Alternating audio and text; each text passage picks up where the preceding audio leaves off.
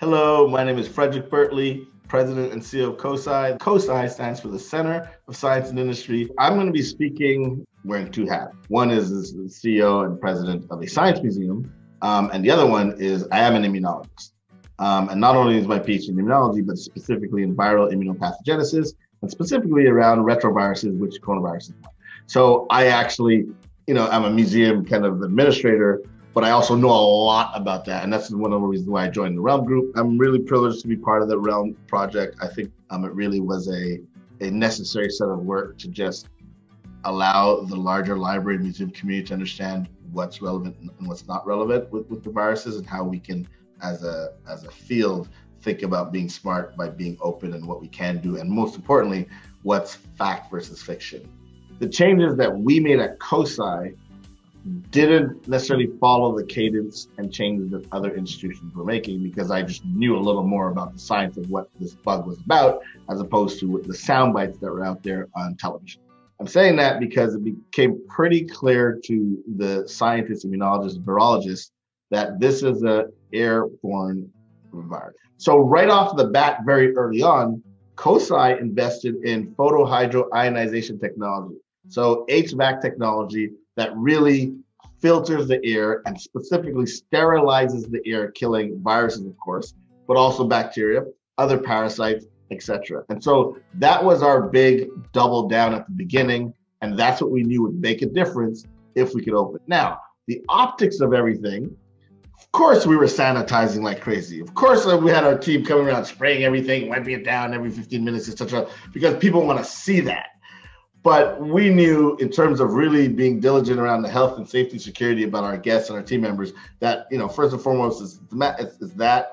Then we were going to, of course, have mask wearing, and of course, we were practicing social distancing. Most culture institutions hover around 50% earned revenue. COSI operates for the last 50 years at 75 to 80% earned revenue when we closed our doors on March 13th, it wasn't a slow decline in revenue. Okay, we have some time to figure stuff out. It, it fell off a cliff. And I say that to say I had, I had to lay off a significant number of team members.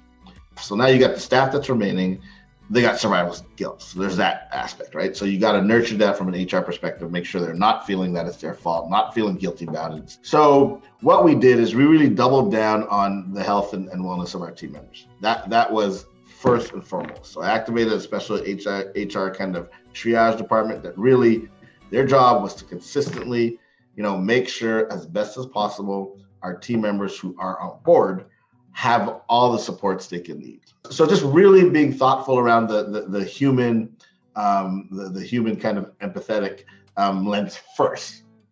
Then after that was okay well, can you do your job at home? you know, so again, working with HR, we're like, you look, as long as you can do like 80% of your job, you know, reasonably well, we're good with that. Let's work with you on that. So, so the first thing was was their well-being as an individual. The second thing was their professional capacity. Can we create a micro environment where they're working from home through Teams, through Zoom, through whatever, that they're going to feel productive on their themselves, and then bigger picture, do we really see the productivity nesting well with with the other um, team members, etc.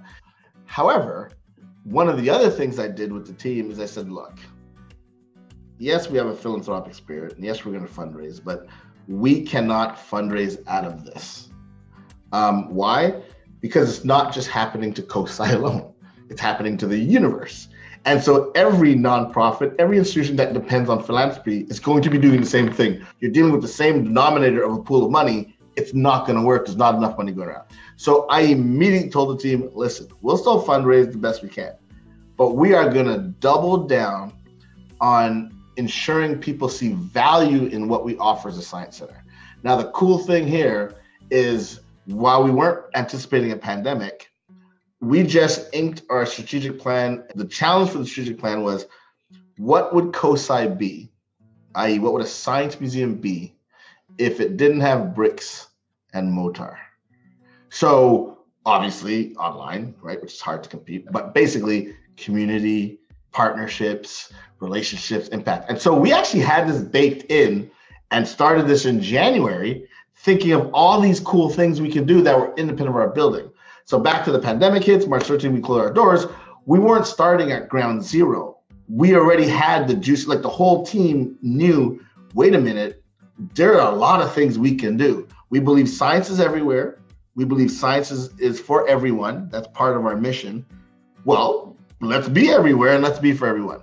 So we doubled down and created all these new innovative programs. Everything from yes, we did try to put stuff on the web, and you know we call it COSI Connects Live, a whole universe of, of free stuff, available videos and different interactions online, which is great. But again, it's a very competitive set. But then really pulled ourselves out from the rest of the pack by having these hands-on kits that were next level quality hands-on kits. What do I mean by that? Each kit had five different experiments. The five different experiments were correlated in our case to the Ohio Science Learning Standards and to the national next generation science standards. And we started in, in Columbus, went through Franklin County, then we went through all 80 counties through the whole state of Ohio. Now we're in Tennessee, West Virginia, Kentucky. We're going to Texas.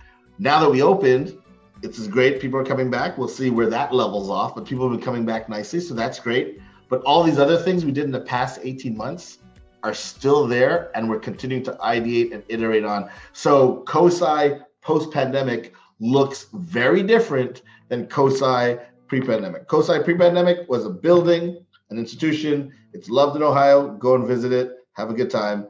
COSI post-pandemic is a concept that includes visit the physical, you know, come to the mothership for your capsule experience. But there's all these other experiences you're having out there that are not curated by Google, not Google, not curated by Facebook, but oh, there's this little small place in Columbus that's doing these really cool things. Oh my gosh, that's COSI, and I'm in Texas and I'm having a COSI experience. So that kind of sums up what our what our new steady state will be.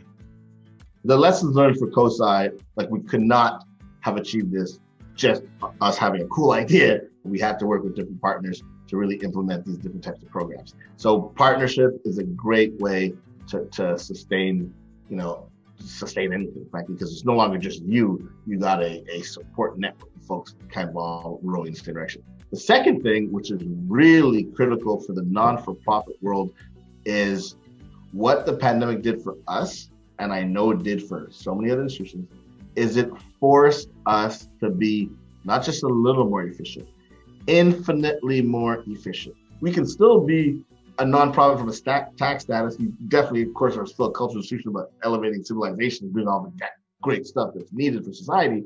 But you can operate way better, way faster, way smarter, way more efficient, way more cost effective than we traditionally do.